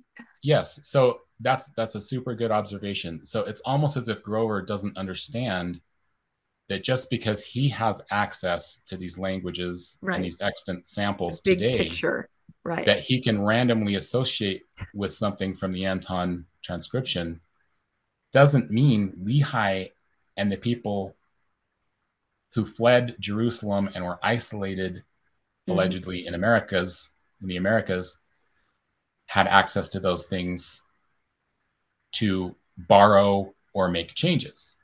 In which case, the comparisons he's making, that Grover is making, are completely moot. Right? And there's another thing here. If you look closely at um, writing systems with types and descendancy, and I'm sorry, that's a lot of information and it's sort of technical. but you remember how I said if you're doing an A B comparison, you can't compare an abjad to an alphabet or an alphabet to a mm-hmm. syllabary or an alphabet to um, a logographic system or to a semantophonetic system. All these systems that he's comparing to are of completely various and different types. So for the same reasons we were talking about before, we can't just randomly associate those languages together because they have a common squiggle. They're completely different kinds of writing systems, right? Yeah we also have to pay attention to the fact that about i don't know like about right here right at the very beginning of oh sorry you can't see my cursor. Right at the very beginning of the timeline where lehi leaves jerusalem he's now isolated from everything else right? So and and we have some wiggle room in this chart because this this is just um, dates based on extant samples that we've been able to find in modern times, right? So, for example, um, the Aztec is is clear to the right of the Lehi timeline, but there may, you know, we don't know how far back that really could have gone because that's just where we have samples in in the modern day. Yeah. But you can kind of see how these comparisons to to Mayan and to modern Hebrew, which actually was a descendant of Aramaic that that Lehi would never have even known because he left Jerusalem before that happened. You can't compare to those. Lehi didn't even have those, right? They they were either in the old world and started after he left, or they were in the new world and started after the Book of Mormon was already done, hmm. right? So Grover is not paying attention to these things. Um, and I want to show I want to show one other um, slide here really quick. I think it's called Grover Arbitrary. It seems like he has a God's eye view. He's omnipotent. He can see all of it all throughout history, all languages, and then he can choose what fits into the structure and, and what he's trying to arrive at, basically none, none of the rest of us have that when it comes to linguistics at all. We have our little our little slice where we are and where we operate. But that God's eye view, you could make anything fit or mean anything that you wanted it to. Exactly. I mean, it's um, if we can be arbitrary, we can match anything to anything. Mm-hmm. Um, so this is three examples of him being arbitrary. Okay. So I'm just going to read the top one, and this is this is from page. Um, sorry, give me one sec. This is from mm-hmm. page uh, 48 in his paper. This whole top block is his writing, not mine. Um, the first progress made, so he's talking about Coe here again, the Mayan epigrapher. The first progress made when deciphering the Mayan language involved recognizing the numbers and then the calendrical information. That seems like a good approach to take as well with the characters document. Okay. Now, um, Coe had good reason for doing that. Okay. And what Coe was doing was he was looking at this text that they didn't they didn't understand the meaning of it and he was seeing things that because of the way they were sequ- sequenced and because of the way they were represented, reminded him of other numerical systems that he had seen in other writing systems. And he used that not as evidence that they were numbers or evidence that um, it was the same thing, the same language. He used that as a springboard for trying to determine if in the sample he was looking at, he could explain a systemic, um, an existing systemic um, value to the glyphs he was seeing in the other language. So, in other words, he was saying numbers are kind of limited in the way they work. You know, we we have counting systems, and we have ways of representing numbers. A lot of times, the way numbers are represented is very um, simple because of that homeostatic thing again. We only, you know, depending on what base we're in, we might have between nine and, you know, 18 symbols that we can use to represent any number. It's a very small set. And the systems are very easy when you have counting, you know, it's sequential and you can see patterns very readily. So I wonder if these things that look like numbers follow a system that would allow me to demonstrate that it's consistent every time. Every every writing sample I have in this language follows a system or a pattern that can explain a set of numbers or a number system. What Grover is doing is saying because there is a number in language X, and because the glyph used to represent that number looks like a glyph in the Anthon transcription, that means the glyph in the Anthon transcription is that number. Okay. But he can mm-hmm. never, the, the way he tries to lay out the system is completely random and arbitrary. It's not a pattern wise thing. So here, here he's going to explain how he did that. The following steps will be taken to evaluate numerals and numerical sequences in the document. Identify numerals that have a fairly straightforward identification from Palestinian hieratic. So why is he choosing Palestinian hieratic? He doesn't say. Identify numerals that have a fairly straightforward identification, and I, I'm assuming by that he means they look alike from Mesoamerican sources. Why? Why Mesoamerican sources? Identify numerals that have a fairly straightforward identification from Egypt, Egyptian hieratic or demotic. Why? Why are we why are we picking hieratic or demotic? It's, it's this is random, and these three languages are very different. All of these are very different languages and writing systems. So I don't know I don't know how there's congruency there. Four, evaluate characters that have forms similar to Mesoamerican or Egyptian hieratic or demotic variants. So now he's saying we're going to look for outliers that aren't common to these writing systems and we're going to compare them. Evaluate the possibilities of Sumerian proto cuneiform sources. So these are sources that existed way back wow. in Mesopotamia, clear back as old as ancient Egypt. 3,000 like years earlier. Dynasties yeah. in ancient Egypt. Evaluate unknown numeral characters within a numeral sequence. How do we know they're numeral characters and how do we know they're in a numeral sequence? This is cart before the horse. Evaluate characters on the ends of number sequences. How do we know it's a number sequence and how do we know where the number ends? no explanation. Throughout the process, where possible, evaluate other linguistic primers that relate to the Book of Mormon. I have no idea what he means by a linguistic primer. That might indicate or place constraints on numerals, numerical notation, and numeric sequences. Now, from reading his paper, what I gather this to mean, and, and I, I confess I'm a little confused by his, it's not a very clear um, prospect that he lays out here. But I think what he means by this is he talks about um, different numerical reckoning systems from the Book of Mormon. And then he makes some assumptions about the characters um, in the um, Anthon transcription being numerical sequences or calendrical expressions or um, demarcations of eras because those things exist in the Book of Mormon.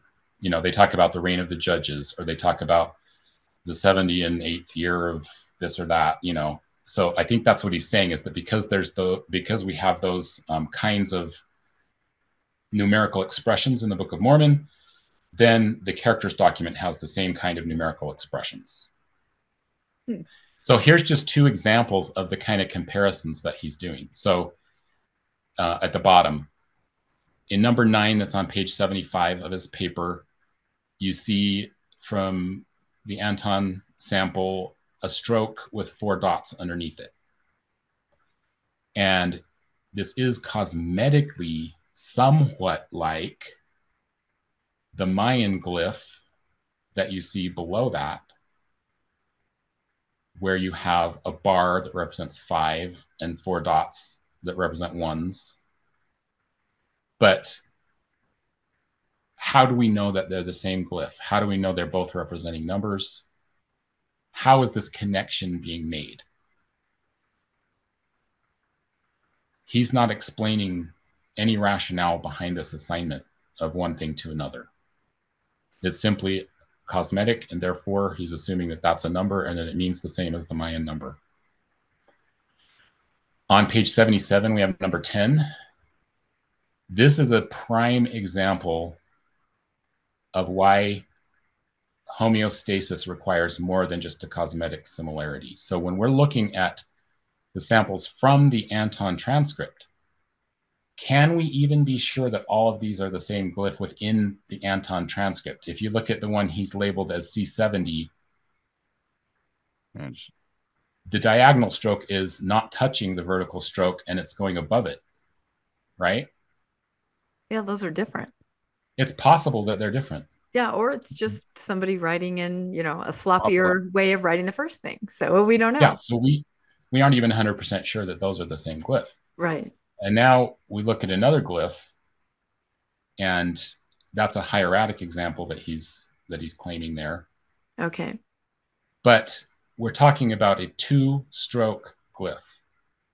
So by this assignment, I have every right to say he's wrong. That's a Cyrillic L. Because I, I, I can associate it in exactly the same way. That's a Cyrillic L. yeah, and it doesn't and make it's a Russian sample.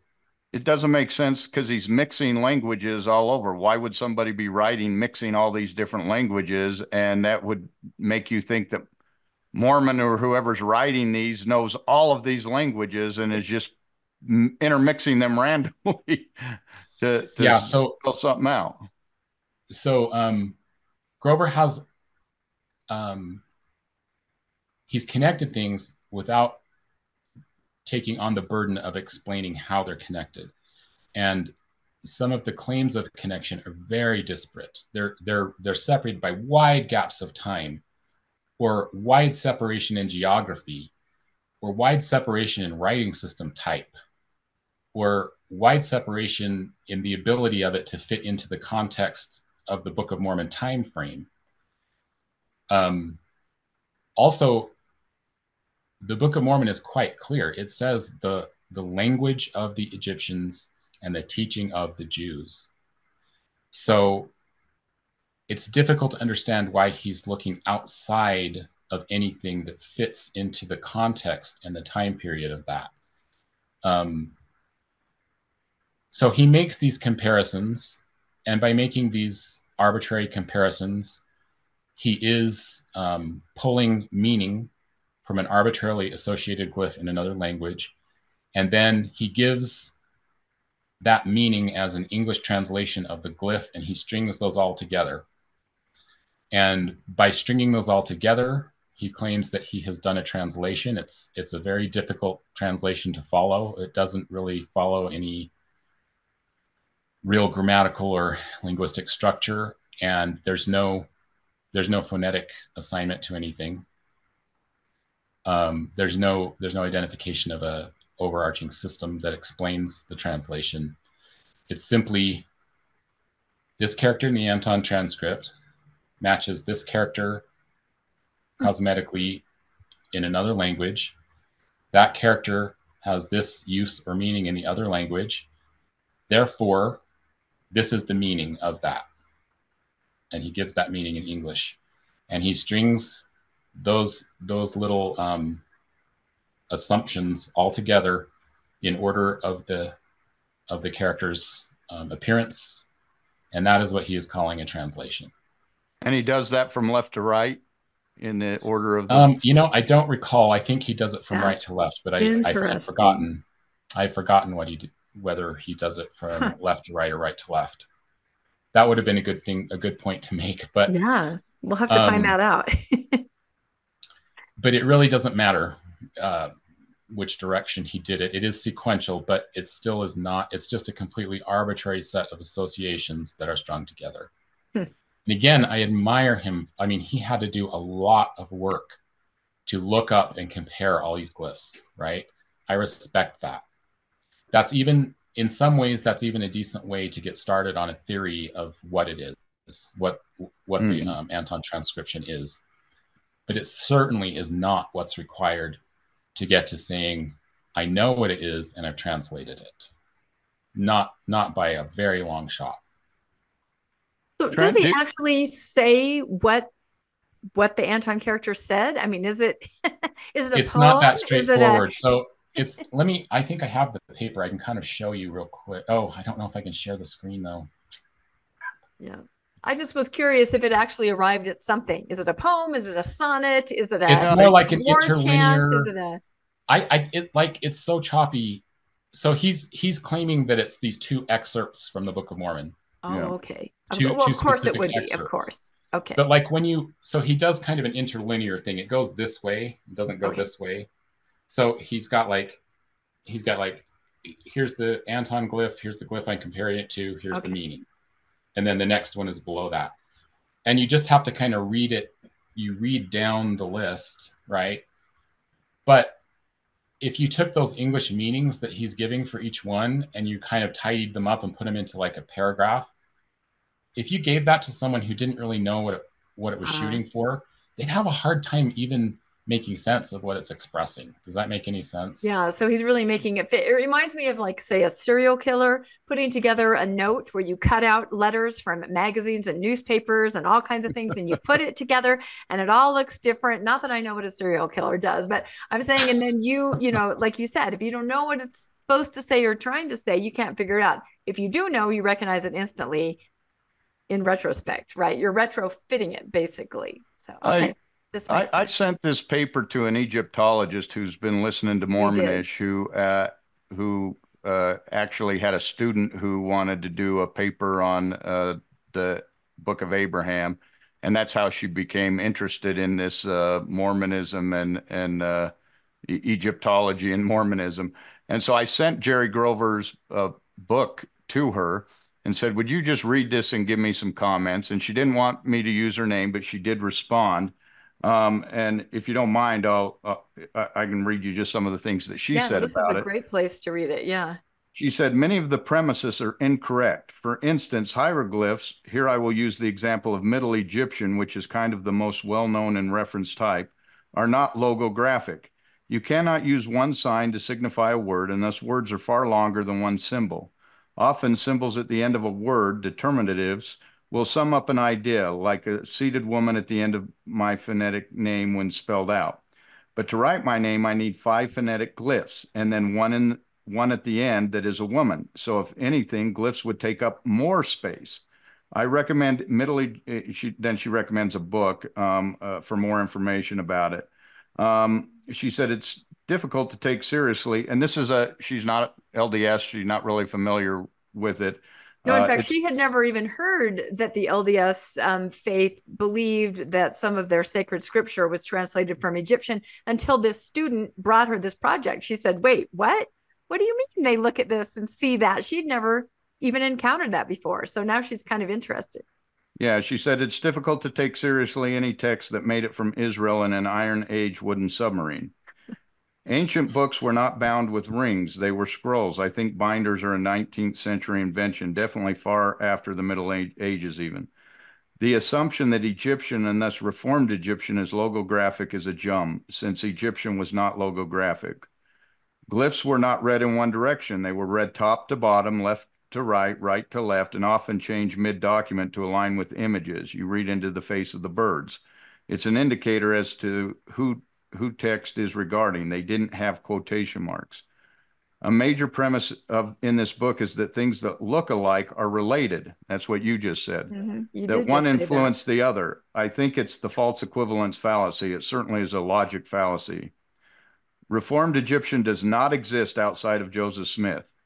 Egyptian, the language, is still spoken in Egypt by the Copts who use a modified Greek script because of Alexander the Great. The author has a faulty understanding of Demotic and Hieratic. It's not a regional difference in modified Egyptian. They serve different function and used in different contexts. Yep. He states that we can't read different people's handwriting in Egyptian. It is just handwriting, like how we can read different people's handwriting in English.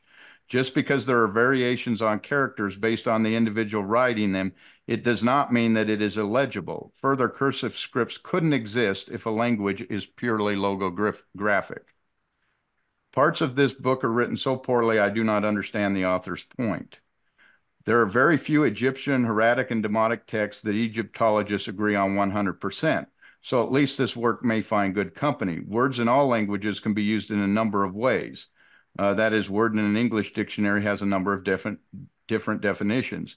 We argue about whether a preposition should be translated as in or on at conferences, for example. It works just like English, and when we disagree on translations, it works just like different interpretations of a word in an English poem would work, for instance.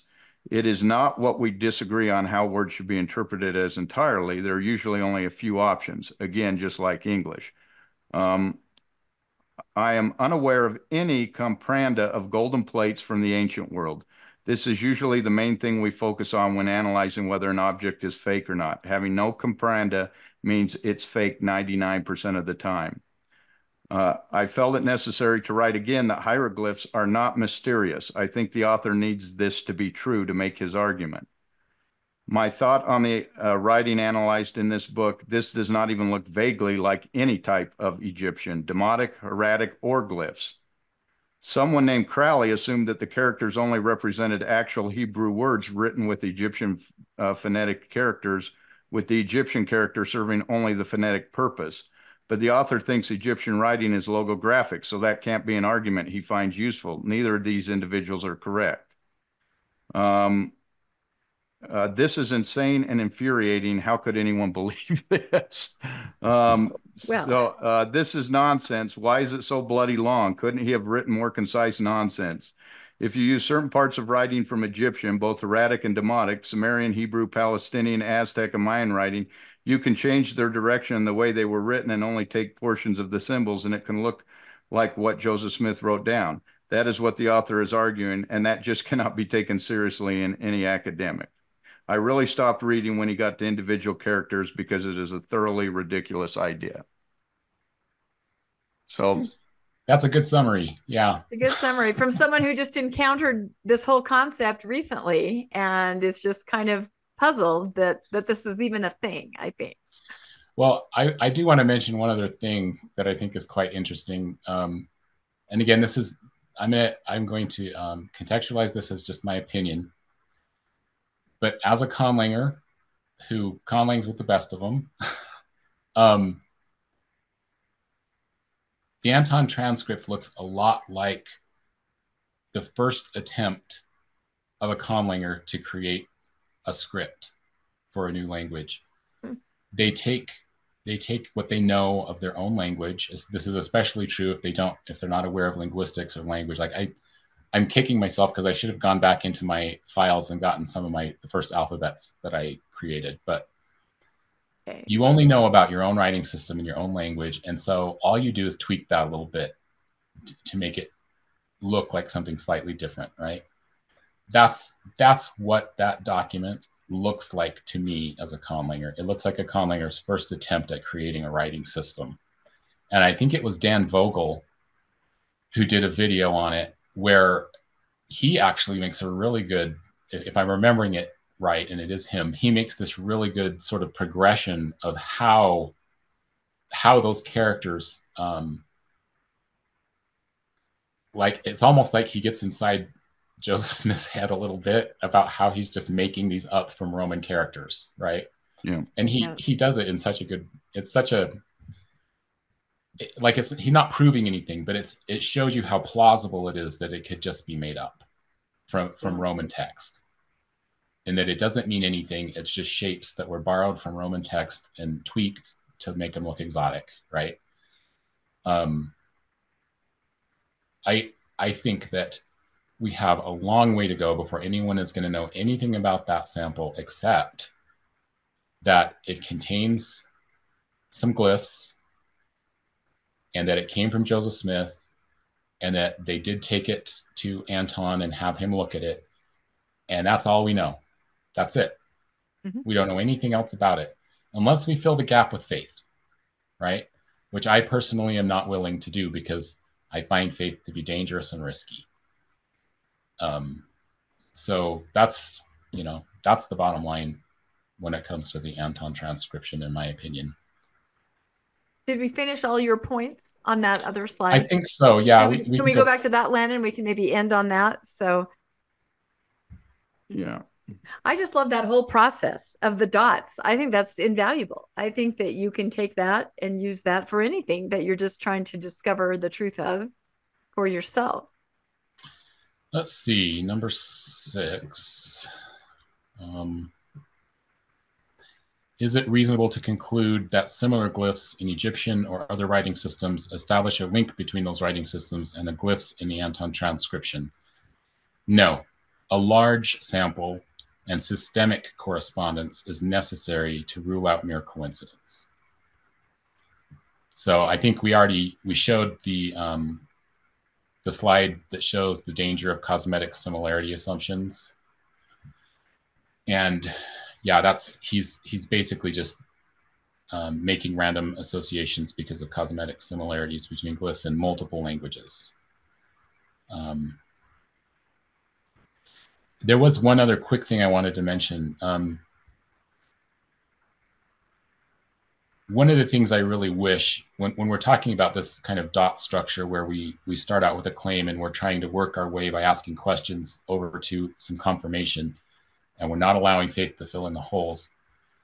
Um, part of the reason why I frame the way I was trained from birth as a form of slavery is because I was robbed of, first of all, of informed consent but more importantly, of the fact that I, I always had the right and the obligation to test and explore the claims that I was given from birth.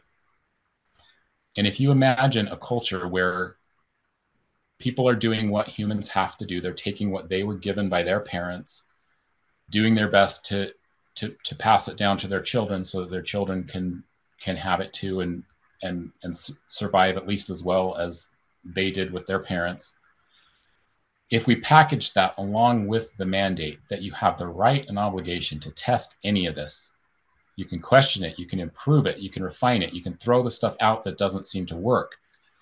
You can you can ask why why do we do this? Why do we believe this? What makes this important? What makes this functional?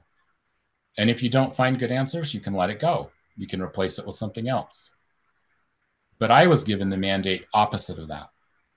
I was told, this is the only way to do it. This is the only safe way. These are the right things. Everything else is wrong. You're going to come to a sticky end if you don't do it this way. You'll be punished if you don't do it this way. You'll be blessed and rewarded and praised if you do it this way. Um, it was it was sealed in a way that made me a slave. And the tragedy of that is my parents are not responsible for that, and neither are their parents or their parents.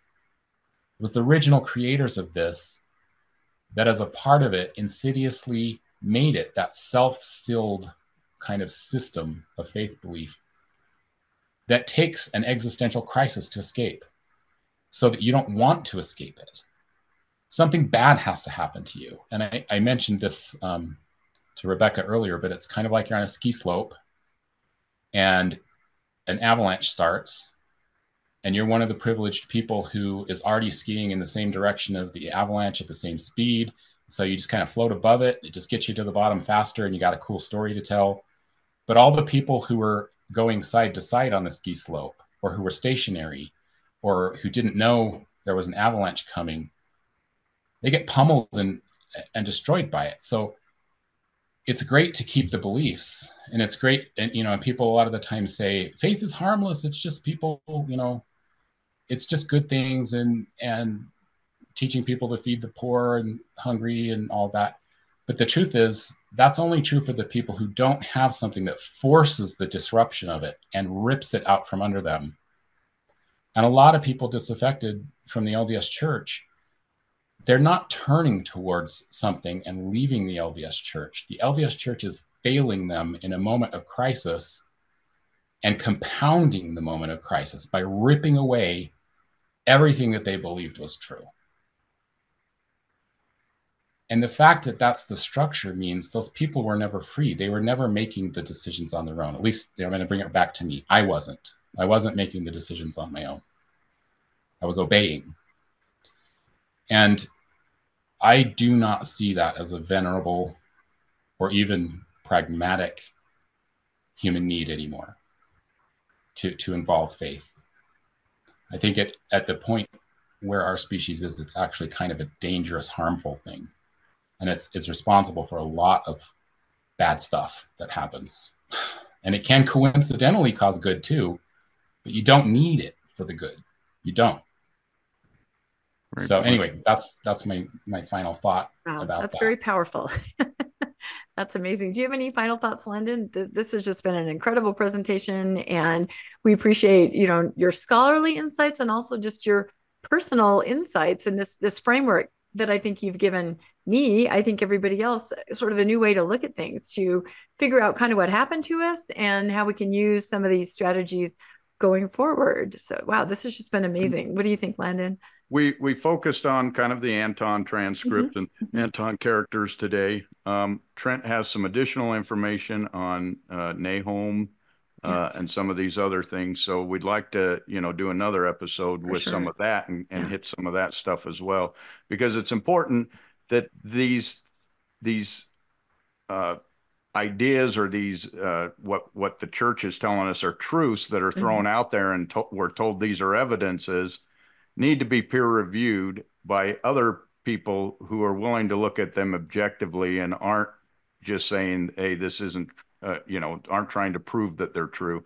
They're looking at them objectively, and that's why we asked Trent. That's why we sent this to the Egyptologist to get uh, their their take on it. Is we want it to be peer reviewed by people who don't have an agenda that are reviewing it. So we appreciate it, Trent. It was a pleasure. I love I love talking about language and linguistics. It's always fun. Well, we're just really happy that we bumped into you. I mean, if we were praying people, we would have said our prayers are answered. But whatever it is, the universe sent Mormonish a linguist to talk to a linguist. Like I can't even speak my own language to speak to. So, and yeah, we definitely want to come have you back on to talk about some of the other things that we discussed. That just time wise we ran out. But I think the way that we we did all this, especially talking about your personal faith exploration and some of that was really important to include so i love that. So this is excellent. All right everybody please comment. What did you guys think about this? Oh my goodness. Um, i was blown away by the faith chart. What, what are your thoughts on that and some of the other information just about the Anthon characters and and some of that. It was just so fascinating. I just love it and really excited to have Trent back on at some point. Uh, please like and subscribe to Mormonish Podcast. And if you'd like to be made aware when new episodes come out, you can hit that notification bell.